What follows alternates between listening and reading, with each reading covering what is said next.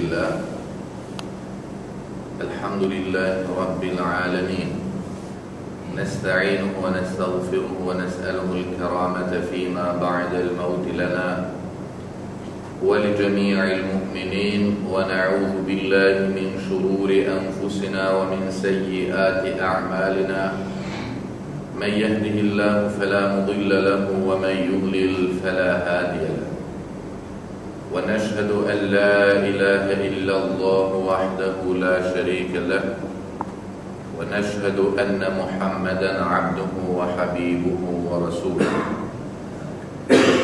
Neka je hvala uzvišenom Allahu koji je svojim poslanicima kao dokaz njihova poslanstva slao i objavljivao nadnaravna djela odnosno muđize.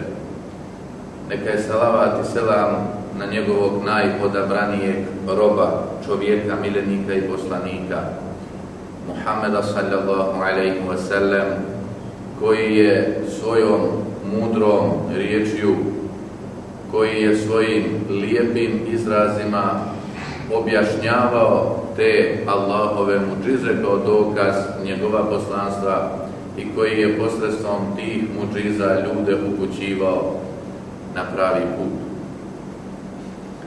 Muđiza ili fenomen, odnosno čudo, je nadnaravno dijelo, nadprirodno, koje čovjek ne može izvesti. To je dijelo koje može uzvišeni Bog samo stvoriti. To je ona radnja koju je On uzvišeni slao svojim milenicima i odabranicima kao dokaz njihova poslanstva u tom narodu. Da bi oni posredstvom tih muđiza dokazali da su od Boga kao poslanici tom narodu poslani. Pa su nevjernici govorili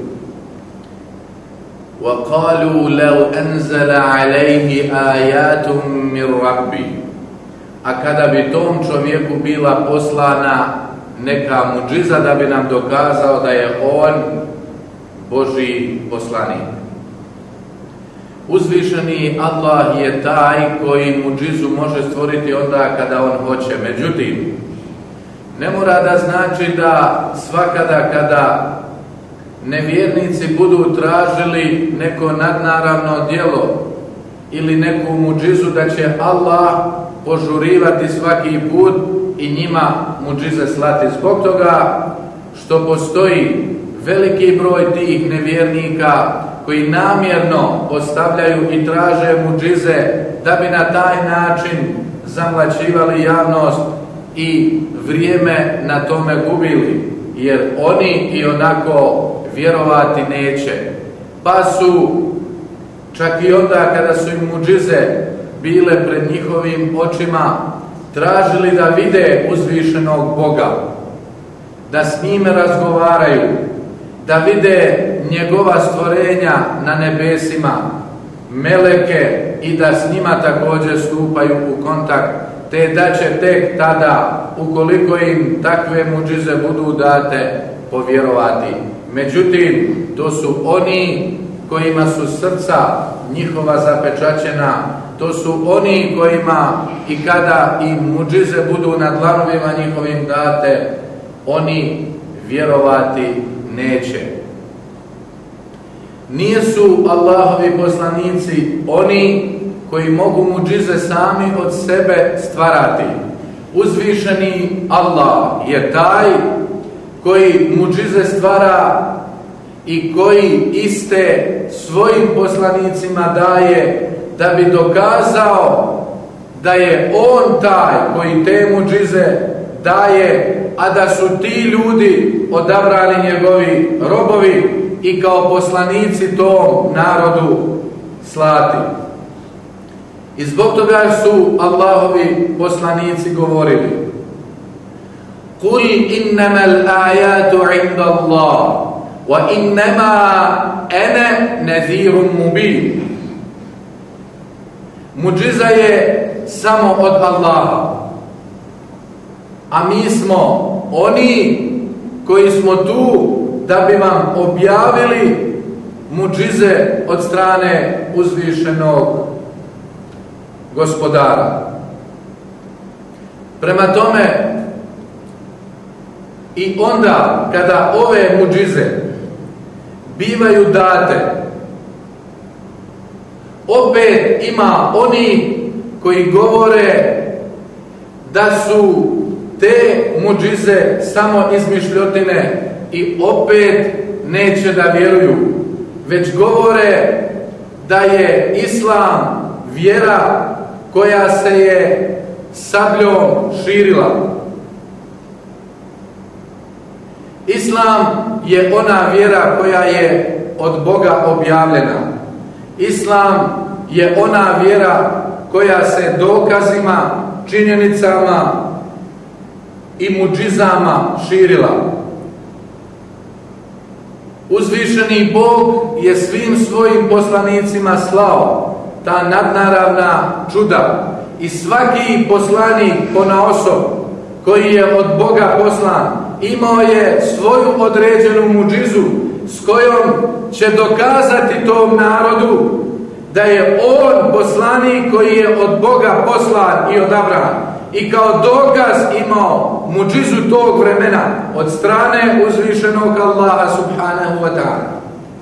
Kao što su svi prijašnji Boži poslanici posjedovali te muđize, također je i posljednji Allahov poslanik, milenik, nebi i rasul Muhammed sallallahu alaihi wa sallam imao svoju muđizu od Boga objavljenu a to je Kur'an u kojemu je Allah objasnio sve od najsitnijeg atoma pa sve do beskonačnosti svemira i svih ostalih nebeskih tijela.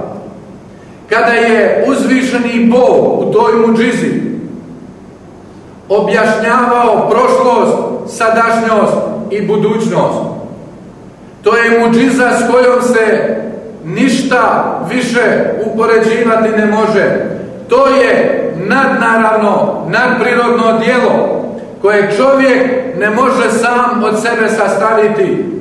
A kamoli Boži poslanik Muhammed sallallahu alaihi wasallam koji tada kada mu je ta muđiza objavljena nije znao ni čitati ni pisati što je dokaz da ta muđiza nije mogla od njega biti već od strane njegovog i naše gospodara, jedinog Allaha subhanahu wa ta'ala. Ta muđiza je također poslana u onom vremenu, u onom podneblju gdje je najrazvijenije bilo pjesništvo. Među onaj narod gdje su najveći intelektualci i najpoznatiji pjesnici svijeta postojali. Kao dokaz, kao fenomen, kao muđizu, da je to dijelo koje nije poslano niti napisano od strane čovjeka, već da je to dijelo koje je od strane najmudrije objavljeno. Ovo je onaj način ovo je onaj model s kojim je vjera islam širena. Ovo su one metode koje su uticale na razumno čovječanstvo da prihvataju vjeru islam. I nije dakle vjera islam širena sabljom. Vjera islam je kao što vidite širena dokazima širena je muđizama, činjenicama i argumentima. Pa je zbog toga uzvišeni Allah kaže وَإِن كُنْتُمْ فِي رَيْبٍ مِّمَّا نَزَّلْنَا عَلَىٰ عَبْدِنَا فَأْتُوا بِسُورَةٍ مِّن مِثْلِهِ وَادْعُوا شُهَدَاءَكُم مِّن دُونِ اللَّهِ إِن كُنْتُمْ صَادِقِينَ. A ako vi sumnjate u ono što mi objavljujemo našem poslaniku,